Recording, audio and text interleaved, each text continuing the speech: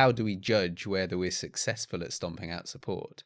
Well, we have a number called RHEM. Now, I'd love to say it was our idea, but it was a guy called Gary Pica in the States, who is kind of the MSP godfather, if you like, the IT support company hmm. godfather.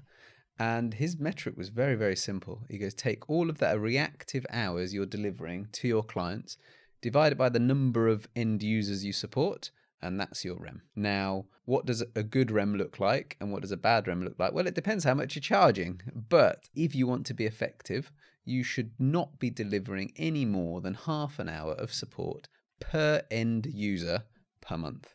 If you're below that, you're on the right track. We have been below that for nine years now. Our net admins, as part of their process, every month have to analyze their clients and say, oh, hang on a minute, why has that one got a bit of a higher RHEM? What did they do? And then give them a call, find out, oh, you keep unplugging that cable that runs through the cleaner's office or something.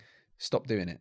Move the cable. What's the permanent corrective action? That's a flavor for how for how we do things and how we determine whether we're being successful stamping out support or not. Yeah and it's a really simple metric isn't it? Yeah and it can't be argued with. I mean it's inspired you know.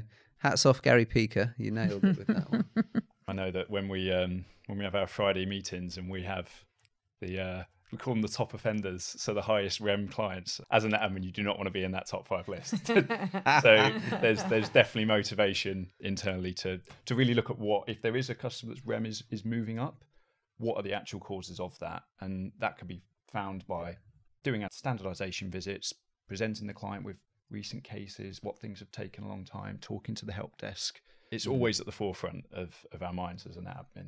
Yeah, everyone really is is a little bit keyed into it as well.